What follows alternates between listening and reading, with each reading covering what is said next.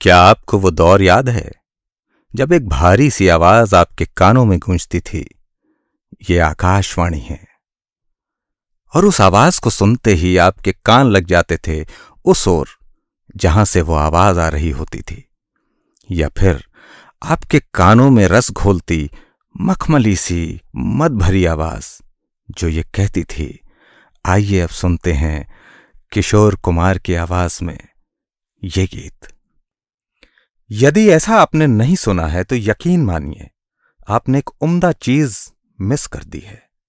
या आप उस दौर से कट गए हैं, जिस दौर में ये आवाज़ें हर घर में गली मोहल्लों की पान की दुकानों में और चौराहों पर गूंजा करती थीं। आप समझ गए हैं, हम बात कर रहे हैं रेडियो की। रेडियो का दौर वो खूबसूरत दौर था, जिसमें लोग अंदाजे बयां से हालात और माहौल का एहसास कर लेते थे।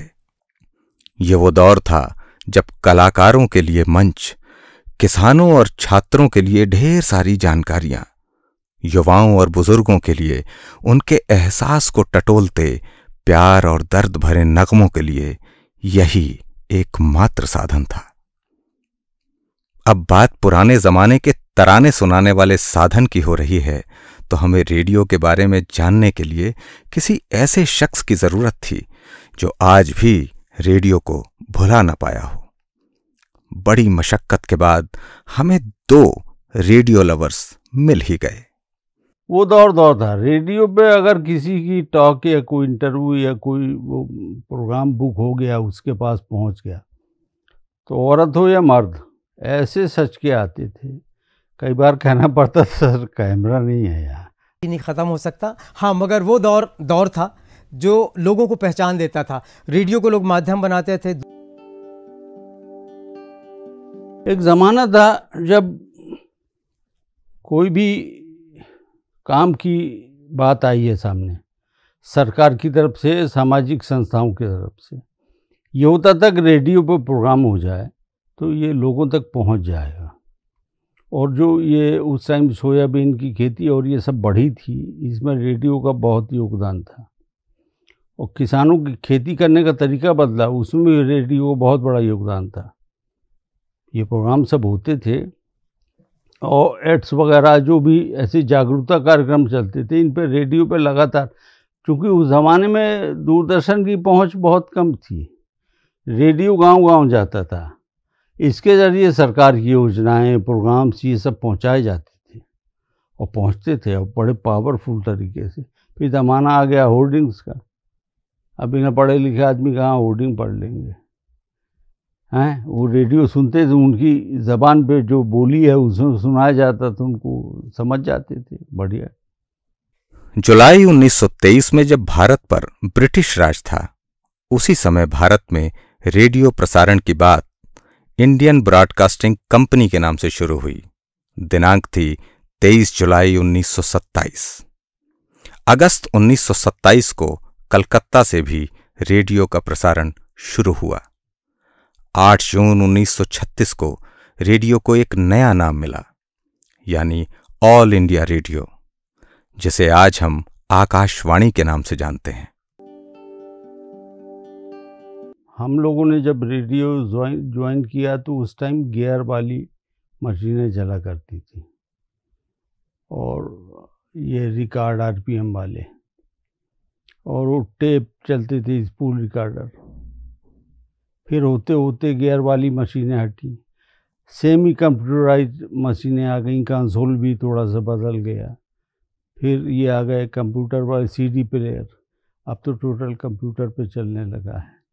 आज हमको कोई कंसोल पे बैठा दे तो हम फ्री हैंड शायद करने में हेजिटेट करें। तो उस टाइम तो वो सुबह सिग्नेचर ट्यून और मंगल ध्वनि से शुरू होता था। तीन सभाएँ होती सुबह, दोपहर, शाम, रात वाली, है ना? और चुनाव जब होता था तो वोट काउंटिंग तीन दिन, चार दिन ट्रांसमिशन कंटिन्यू चलता था। है ना?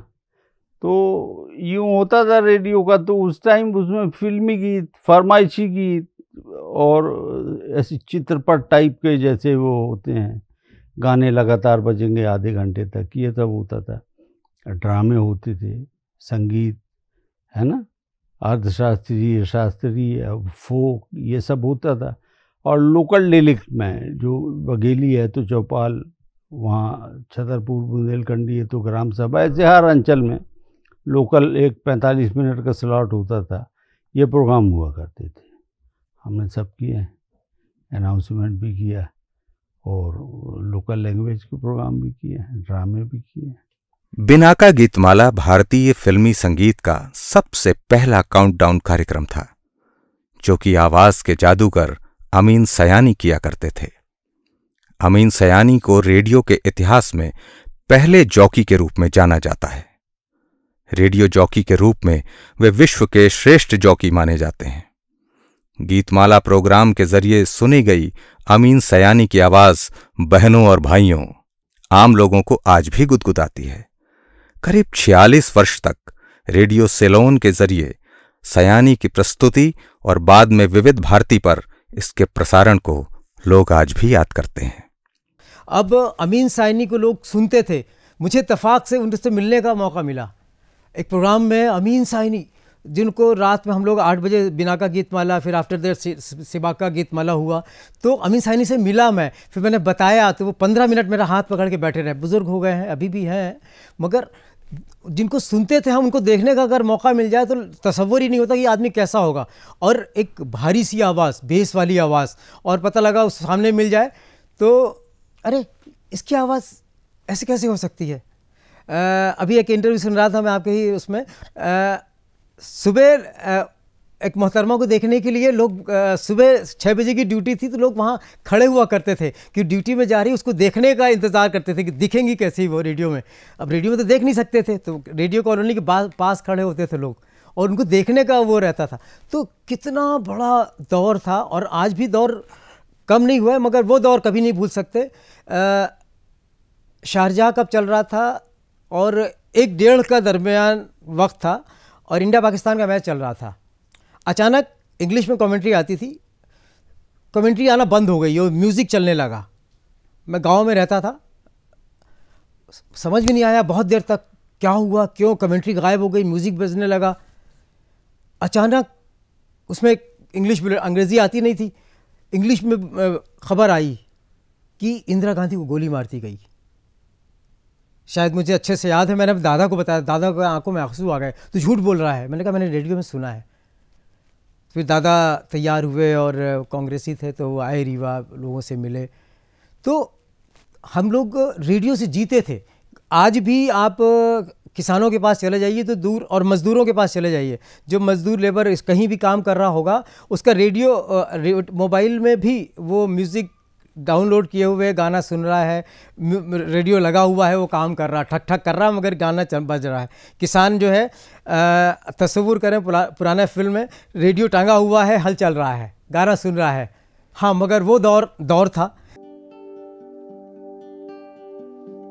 मैं ये नहीं मानता कि रेडियो का क्रेज़ नहीं रह गया।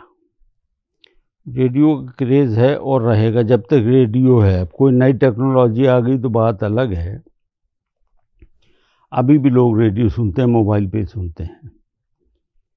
क्योंकि देखो, एक चीज़ है, रेडियो रूह की चीज़ है। ठीक है? आप, जैसे रेडियो ड्रामा है, फ़िल्म है और टेलीविज़न ड्रामा है। रेडियो ड्रामा में उसने कहा, यह हा बगिया कितनी अच्छी। तो सुनने वाले ने अपनी हिसाब से कल्पना कर ली। जो जो फूल पसंद करता है, वो उसको दिख गए।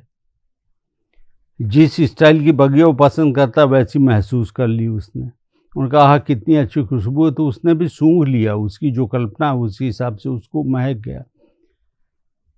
टेलीविज़न या फ़िल्म की लड़की का चेहरा या उसके कपड़े, उसको पसंद नहीं आए। रेडियो की लड़की उतनी ही खूबसूरत होगी। जितनी वो कल्पना उसकी कहेगी कि इतनी सुंदर है। ये रूह का नाटक है, आत्मा जुड़ जाती है उससे जाके। तो रेडियो का चलन कम हो गया है। अब क्रेज तो है। किसी को आप बुला के देखो, हमको बुलाया तुमने कि हम यहाँ रिकॉर्डिंग करेंगे, हम आए कि नहीं आए? ये तो यूट्यूब का चैनल है है ना? तो क्रेज तो है।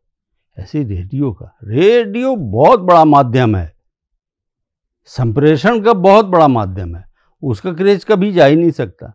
कमेंट्री सुनते थे लोग दिन दिन भर क्रिकेट की, तीन बजे रात उठ के हाँकी की, उसमें कुछ नहीं दिखता। है वो बॉल लेके जा रहा, वो जा रहा, उसने पास दे दिया, वो सब कल्पना उनके आँखों में चल रहा होता था गेम तो ये हमको जीवंत बनाता है। हमारी मुर्दा होती कल्पनाओं को ना, ज़िंदा करता है, सींचता रहता है रेडियो।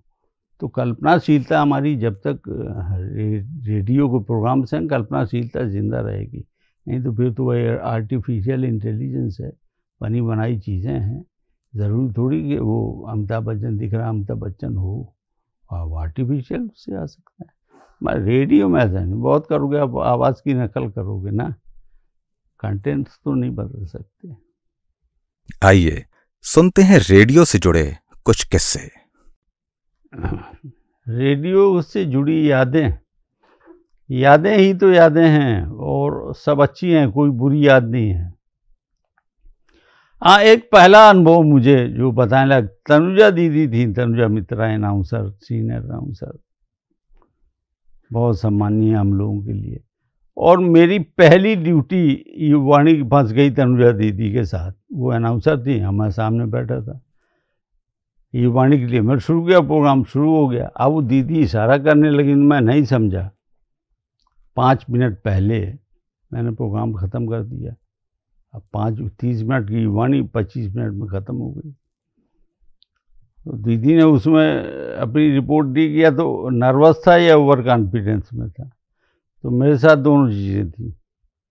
ओवर कॉन्फिडेंस भी था और नर्वसनेस भी थी। फिर वो गलती दोबारा तो हुई नहीं कभी।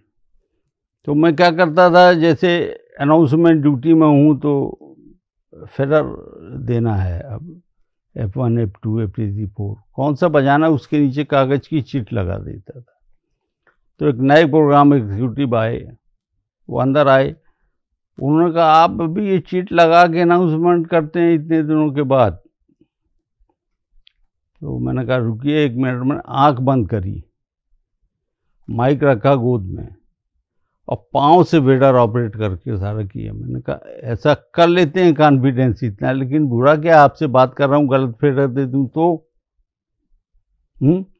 और दूसरा मुझे बहुत बड़ा रिवार्ड मिला आकाशवाणी में, जो इलेक्शन ब्रॉडकास्ट होता था, उसमें मेरी ही ड्यूटी लगती थी। सो जाने का खतरा रहता था। मेरे साथ ये था कि ये सोएगा नहीं। तो मैं सुबह छः बजे तक बोलता था। फिर उसमें क्या है? रेखा दीदी, आशा दीदी कोई थी आकाशवाणी रीवा में, उनको आने में थोड़ा डिले हो गया। आप सोच सकते हो रात भर ड्यूटी में रहा छः बजे। तो मैं कुछ बोल गया तो उतनी टाइम तो उन्होंने बाद में डांटा, उनका हम लोग बच्चे वाले स्कूल भेज के आए, बच्चे को थोड़ा लेट होगा, और तुम थे ड्यूटी में तो ओवर कॉन्फिडेंट थे, संभाल लेगा। वो शहनाज थी, शहनाज रखते थी शहनाज के साथ भी तो बड़े इतफाक रहे। लेकिन वो जब सुबह आया करें छः बजे तो मुझसे कहें अनवार, तुम्हारे प्रोग्राम को गोइंग ओवर, मैं दे दूँगी थर्मस में चाय पी के तुम घर चले जाना, मैं चाय पी। पहले ऐसा था आकाशवाणी, बहुत अच्छा था। और बहुत यादें हैं, ड्रामों की भी बहुत यादें हैं, लेकिन उन अच्छी यादों से जुड़े बहुत सारे अच्छे लोग अब नहीं हैं। तो गाला भर आता है। से हम लोग के हरिकृष्ण खत्री अंकल थे। वो सीनियर मोस्ट थे। तो वो आए, उनके बैग पे टूट पड़े हम लोग। मीठा मसाला तम्बाकू वाला मसाला, सारे मसाले बना के लाते थे। और रिकॉर्डिंग्स होती थी। बिल्कुल हेल्दी और जॉली एक माहौल होता था। एक फैमिली थी। बाद में फिर आस्करण शर्मा जी आए। तो उन्होंने कहा, ये प्रोड्यूसर क्या करते हैं? तीन दिन रिहर्सल कराते हैं कंटिन्यूएशन में रिकॉर्डिंग कराते हैं। दे आर आल प्रोफेशनल उनका टाइम वेस्ट कर रहे हो आर्टिस्ट आया, उसका पार्ट रिकॉर्ड करो। फिर दूसरा आएगा, उसका कर लेना। फिर मिक्सिंग करो आप उसमें। आप प्रोडक्शन का आएगा, कर रहे हो। अब वो कंटिन्यूटी में सब डायलॉग बोल दिए तो वैसे बन गया वो तो ड्रामा तो आपको इफ़ेक्ट डालने हैं बस। कभी फ़िल्म बनते देखिए, वो फुटेज काट काट के जोड़ते हैं। आवाज़ नहीं जोड़ सकते आप लोग। तो फिर वहाँ से वो प्रोडक्शन का स्टाइल बदला, सब बदला, ऐसा हो गया। और मैं एक बार इलाहाबाद गया तो पान खाता था मैं। पान की दुकान में खड़ा हुआ तो वो नई नई उम्र थी, बड़ा पूरे बेस में और आवाज़ का वो टूटे। मैंने उससे कहा, भाई, एक पान लगाना। उसने, छूटते कहा आप रीवा से आए क्या? मैंने कहा हाँ। मेरा नाम लिया, उसने, ये नाम है आपका क्या? मैंने कहा हाँ बारह अट्ठाईस हुआ था दोपहर की सभा शुरू होनी थी उसने ऑन किया, ट्रांजिस्टर सिग्नेचर ट्यून बजने लगी और फिर अनाउंसर की आवाज़ आई आकाशवाणी का रीवा केंद्र गुलाम सी भी यही सुनते हैं। तो आवाज़ से पहचान कर तो मुझे तो इतना बड़ा इनाम आज तक मिला नहीं, वही सबसे बड़ा इनाम था। तो उसने कागज़ पर फरमाइश लिख की दी, ये पाँच नाम हैं मेरे मेरे दोस्तों के, आप बोल दिया करिए, उसके लिए इतनी बड़ी बात थी। बड़े आदमी भी रेडियो ही सुनते थे। सेट अलग अलग होते हैं सबके घरों में। पहले तो एरियल वाला वो सेट चलता था, बड़ा वाला वो मर्फी का, बुश का, है ना? फिर धीरे धीरे ट्रांजिस्टर था, आगे ट्रांजिस्टर चलने लगे। तो सुनते थे सभी, इसलिए सुनते थे कि हम लोगों के साथ रेडियो पर परफॉर्म करने हर आय वर्ग के लोग आते थे। कार से भी आते थे, रिक्शे से भी आते थे, पैदल वाले भी आते थे। हर वर्ग में रेडियो बहुत पॉपुलर था। शारजहाँ कब चल रहा था और एक डेढ़ का दरमियान वक्त था और इंडिया पाकिस्तान का मैच चल रहा था। अचानक इंग्लिश में कमेंट्री आती थी। कमेंट्री आना बंद हो गई और म्यूज़िक चलने लगा। मैं गाँव में रहता था। समझ भी नहीं आया बहुत देर तक क्या हुआ, क्यों कमेंट्री गायब हो गई, म्यूज़िक बजने लगा। अचानक उसमें इंग्लिश अंग्रेज़ी आती नहीं थी। इंग्लिश में खबर आई कि इंदिरा गांधी को गोली मारती गई। शायद मुझे अच्छे से याद है, मैंने दादा को बताया, दादा को आँखों में आँसू आ गए तो झूठ बोल रहा है। मैंने कहा, मैंने रेडियो में सुना है। फिर दादा तैयार हुए और कांग्रेसी थे तो आए रीवा, लोगों से मिले। तो हम लोग रेडियो से जीते थे। आज भी आप किसानों के पास चले जाइए तो दूर और मज़दूरों के पास चले जाइए। जो मज़दूर लेबर कहीं भी काम कर रहा होगा उसका रेडियो मोबाइल में भी वो म्यूज़िक डाउनलोड किए हुए गाना सुन रहा है रेडियो लगा हुआ है वो काम कर रहा ठक ठक कर रहा मगर गाना बज रहा है। किसान जो है तस्वूर करें पुरा, पुराना फ़िल्म में रेडियो टांगा हुआ है हल चल रहा है गाना सुन रहा है। मेरे देश की धरती सीना उगले उगले हीरा मोती इस तरह की का दौर था। और ये दौर कभी नहीं ख़त्म हो सकता। हाँ मगर वो दौर दौर था जो लोगों को पहचान देता था। रेडियो को लोग माध्यम बनाते थे। मेरे बहुत सारे लोग हैं, बहुत सारी लड़कियाँ हैं जो रेडियो को, जिनको मैंने ट्रेनिंग दी, जो मेरे साथ कंपेयर थी। आज उसको बेस बना के वो दूरदर्शन में पहुँच गई और बेस्ट एंकर साबित हुई। न्यूज़ रीडर बनी वो बड़ी, और उन्होंने बहुत सारे प्रोग्राम्स किए, मेरे साथ किए, कई लोग प्रोड्यूसर हो गए। तो रेडियो को बेस बनाया उन्होंने। इसी तरह से हम लोग थिएटर करते थे। थिएटर को भी एक अच्छा वो माना जाता था प्लेटफॉर्म। कि बोल्डनेस आती है। कम, कहीं हम लोग बैंक में जाते थे तो हम लोग टिकट बेचते थे अपने नाटक के, कि सर हमारा कल शो है, पाँच रुपये का टिकट ले लीजिए। तो वो लोग आते थे मिलने और हमें क्या मिलता था? चंद तालियाँ मिलती थी, और कुछ नहीं मिलता था। और अखबार में छोटी सी एक कटिंग होती थी सिंगल कॉलम की, जिसमें नाम लिखा होता था कि इन्होंने सराहनीय योगदान दिया। तो दौर था, बहुत अच्छा दौर था, और हम लोगों ने बहुत अच्छा दौर जिया उस रेडियो में, जो कभी नहीं भूल सकते हम। यूँ बरसती हैं तस्वुर में पुरानी यादें, जैसे बरसात की रिमझिम में समा होता है।